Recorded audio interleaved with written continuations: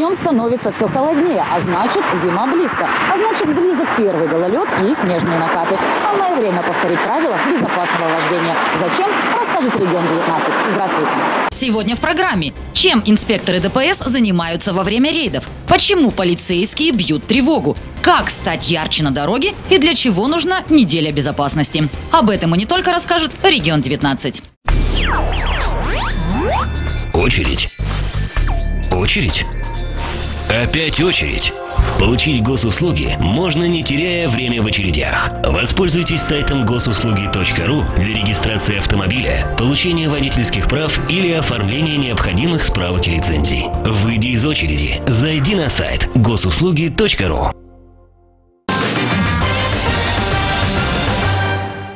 Трагедия за трагедией. В России поголовно бьются пассажирские автобусы и гибнут люди. Полицейские всей страны брошены на борьбу с этой бедой. Каждый день и каждую ночь госавтоинспекторы проверяют автобусы, чтобы обеспечить безопасность пассажиров. Ежедневно и еженочно теперь будут проверять автобусы. Рейдовые мероприятия начались на трассе вблизи Пригорска. Останавливали все проезжающие пассажирские автобусы, не только для проверки документов. Инспекторов интересовало все. Наличие необходимой документации, режим труда и отдыха водителя, техническое состояние самого автобуса.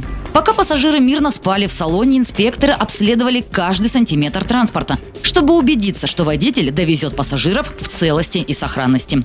Страшные трагедии, которые произошли в центральной части нашей страны, сложно не брать во внимание. Столкновение автобусов в первый раз унесло 13 жизней. И спустя некоторое время произошла вторая авария, где погибли также 13 человек. Как показал первый рейд, водители больших автобусов не только соблюдают правила, но и заботятся о пассажирах, соблюдая режим труда и отдыха. Ведь именно от водителя, а точнее от его физического и морального состояния, зависит безопасность пассажиров. Ведь если водитель устал и уснет за рулем, трагедии не миновать. Ежедневно и еженочно рейды будут продолжаться.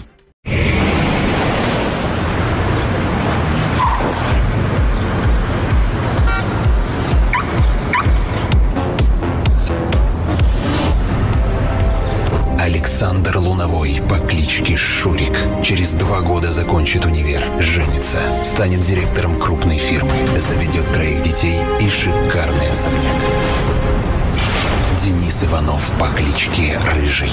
Через пять минут выйдет на трассу, разгонится до 120 и погибнет в страшной автокатастрофе. Жизнь или скорость? Сделай правильный выбор.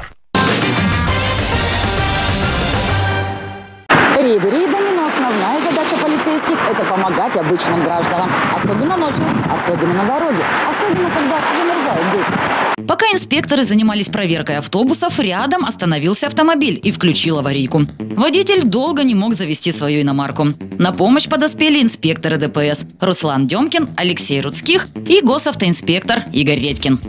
Опытными полицейскими было принято решение завести транспорт с толкача. Остановили грузовичок, прицепили трос, и процесс пошел. Автомобиль с двумя маленькими замерзающими детьми благополучно поехал. Но на этом приключения семьи из Красноярска не закончились. Проехав несколько десятков метров, вторая поломка. На этот раз колесо. Инспекторы долго думать не стали. Сели в патрульный автомобиль и поехали спасать. Долго мучились инспекторы с поломкой, но в итоге починили. Довольная семья поехала домой, а инспекторы вновь встали на трассу, чтобы обеспечивать безопасность и помогать тем, кому нужна помощь. Работа у них такая. Вот мама и Светка, что видят разметку, которой расчерчена зебрую метка «Дорога», что надо сейчас перейти. А это водитель грузовика, что остановился у знака, пока мама и Светка пройдут по разметке, которой дорога расчерчена метка, и скажут спасибо знаком кивка. Так делают все, кому жизнь дорога. Возьмите за правило вы этот стих, пусть будет безопасный переход для двоих.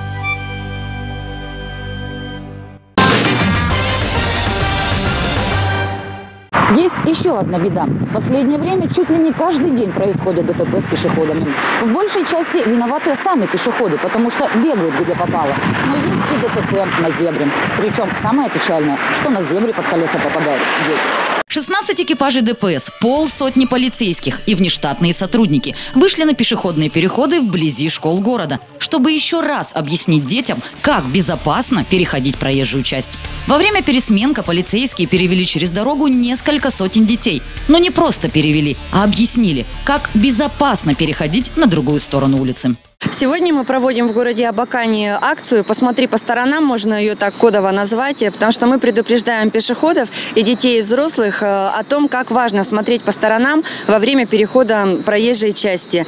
Э, мы работаем у пешеходных переходов э, и наблюдаем, как люди действительно не смотрят по сторонам. В лучшем случае посмотрели один раз, когда только ступили на проезжую часть. Мы предупреждаем детей, чтобы они смотрели по сторонам во время перехода проезжей части. Казалось бы, ничего сложного, просто посмотреть по сторонам. Но именно это зачастую становится причиной аварии. Есть элементарные правила собственной безопасности. Нужно всего-навсего выучить три глагола. Остановись, осмотрись и убедись. Если горит зеленый сигнал светофора, это не означает, что можно бездумно переходить дорогу. Всегда необходимо остановиться перед зеброй, осмотреться, нет ли приближающихся автомобилей и убедиться в собственной безопасности. Мы сегодня постояли на, ну вот здесь вот и понаблюдали, и мало человек, кто смотрит на, ну, на дорогу, на, они доверяют только водителям.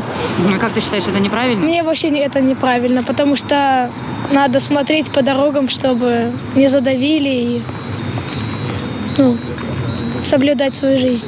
Только силами полицейских ситуацию на дорогах не исправить. Большую роль играют родители. Именно мамы и папы должны каждый день говорить ребенку простые правила безопасности. Но некоторые не знают, как это сделать правильно. Как донести до школьника то, что он может пострадать по собственной неосторожности. Научить ребенка в первую очередь надо на собственном опыте. Во-первых, правильно переходить дорогу по пешеходному переходу. И каждый день, и каждую минуту, когда вы переходите эту дорогу вместе с ребенком, показывайте своим поведением, как нужно это правильно делать. То есть остановились, посмотрели, убедились, что весь транспорт остановился, и только в этом случае начинаем переходить дорогу. Только собственным положительным примером можно привить ребенку дорожную грамотность. И делать это нужно не раз в неделю, а каждый день. Ну, несмотря на то, что в текущем году количество дорожно-транспортных происшествий в Республике Хакасия значительно уменьшилось, э, количество погибших и пострадавших в данных ДТП также стало меньше. Однако Государственная автомобильную инспекцию не может настораживать тот факт, что э, за последнее время, за октябрь месяц, увеличилось количество ДТП с участием пешеходов и детей. Э, особенно очень много таких дорожно-транспортных происшествий произошло в городе Абакане. С начала октября 10 дорожно-транспортных происшествий, в которых 9 пешеходов пострадало и один, к сожалению, погиб. Я бы хотел обратиться ко всем участникам дорожного движения, э, прежде всего к пешеходам, когда э, люди переходят дорогу, проезжую часть, э, нужно быть очень внимательными. Обязательно переходить проезжую часть по пешеходному переходу э, на разрешающий сигнал светофора и убедиться в том, что водители э, увидели вас и пропускают. Э, уважаемые водители, когда вы подъезжаете э, к пешеходному переходу, снижайте, пожалуйста, скорость, э, потому что в любой момент на пешеходном переходе, на светофоре может появиться пешеход, либо ребенок. В соответствии с правилами дорожного движения вы обязаны пропустить их, уступить им дорогу. Ну и хотелось бы обратиться, конечно, к родителям и к учителям. Не забывать ежедневно Э, напоминать ребенку правила поведения на дороге. Э, затратить всего лишь несколько секунд, сказать о том, что нужно переходить по пешеходному переходу, не перебегать в неустановленном месте дорогу. Э, соблюдайте правила дорожного движения, будьте взаимно вежливыми. Надеюсь, что мы избежим больших бед с нашими детками. Я соблюдаю правила дорожного движения, пропускаю пешеходов, всегда перевожу ребенка в специальном детском кресле. Я делаю все, чтобы дети были в безопасности. А вы что можете сделать для этого? Дети хотят, чтобы дорога была символом жизни. Дарите друг другу внимание и уважение на дорогах. Пусть дорога действительно станет символом жизни. И особенно берегите детей.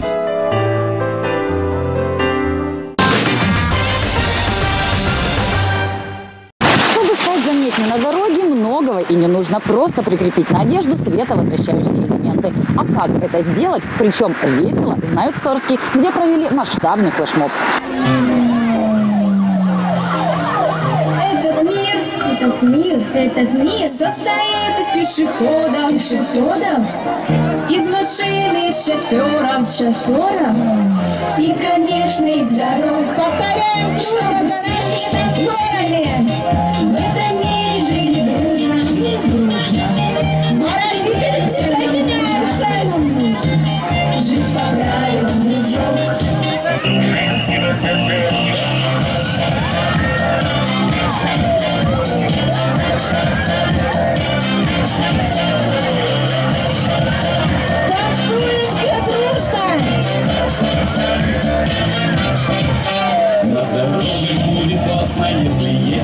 безопасно. Ремешок свой пристегните, счастливого пути. Сплошные Ребята! Если не нарочно соблюдай ПТТ и дружинский ПТТ. Соблюдай ПТТ и дружинский ПТТ.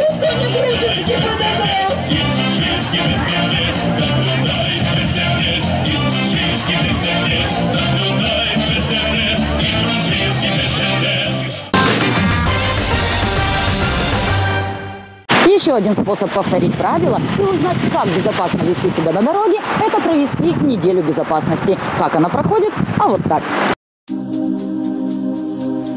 В настоящее время проблема безопасности дорожного движения приобрела важное значение. С каждым годом возрастает количество дорожно-транспортных происшествий.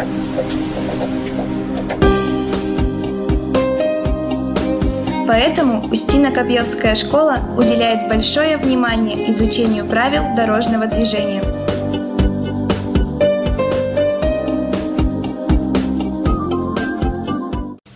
В рамках Всероссийской недели безопасности отряд ЮИД «Крутой поворот» и сотрудники ГИБДД провели квест-игру по правилам дорожного движения. Еду я или шагаю, но правила дорожные все я соблюдаю.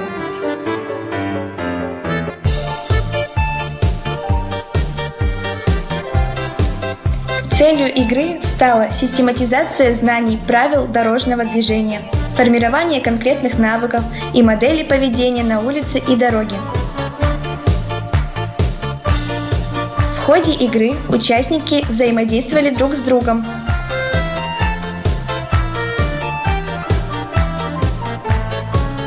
Анализировали имеющуюся информацию. Использовали эрудицию.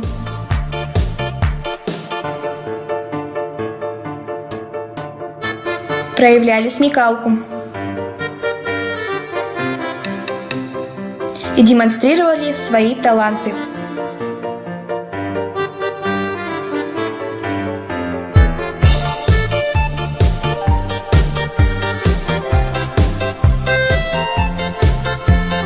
А самое главное, получили море положительных впечатлений.